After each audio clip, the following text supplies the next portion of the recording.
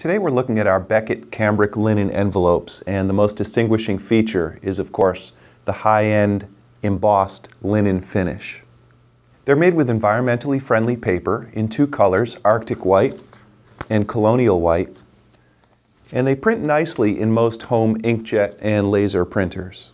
They're available in many different sizes for your invitation card, and if you have any questions, get in touch with us.